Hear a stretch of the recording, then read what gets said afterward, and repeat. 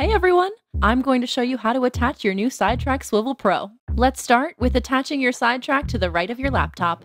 First, make sure your laptop is closed and that the laptop opening is facing you. Then, place the mounting guide on top of your laptop and align the right edge of the mounting guide with the right edge of your laptop.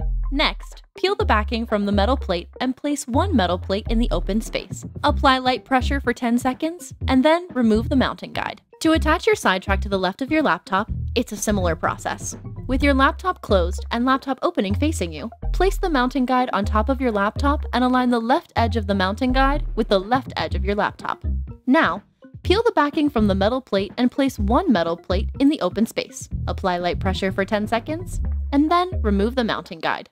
If you are setting up a triple screen, you will need to install a metal plate on both the left and right side of your laptop. In order for these monitors to nest with one another when closed, one monitor will need to have a raised mounting frame, while the other monitor's mounting frame will have to stay flush with the screen. If you purchase the triple screen setup, the monitors have already been adjusted accordingly and no further action is needed on your end. If you purchase the second monitor separately, both mounting plates will be flush with the screen and will need to be adjusted. We will go over the steps on how to raise the mounting frame on one of your monitors. Make sure to change only one of your monitors. The other monitor's mounting frame must remain flush with the screen.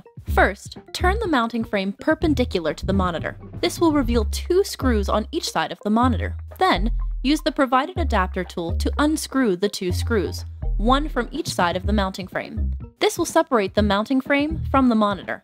Turn the separated mounting frame 180 degrees, place it back on the monitor, and put the screws back in. Lastly, clip your monitor to the metal plate on your laptop. Wiggle the monitor's mounting frame, and if it falls off, then it is not fully attached.